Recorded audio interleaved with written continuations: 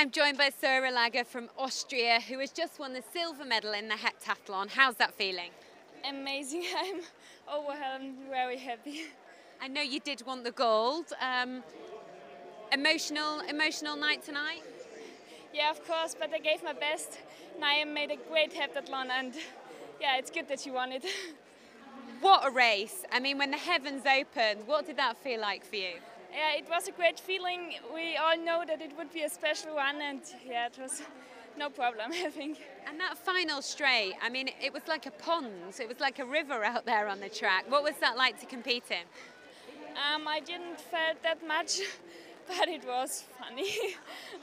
and you, you're taking home the silver medal. You know, so difficult to get a medal in heptathlon. Um, what next for you? What have you learned from this? Yeah, I've learned a lot. It's a big competition here. I'm happy to compete, and I'm going to compete at the European Championships this year. And now I'm going to make some holiday in Finland. Britain has got such a history with heptathlon medals. Um, do you think it's going to be really, really hard going forward to break down that history of medals, that success, um, so that Austria's in the top spot in the future? Yeah, I'm sure it's going to be hard, but we have a few very good heptathletes in Austria and our time will come. Congratulations. Go and enjoy. Thank you. Thank you.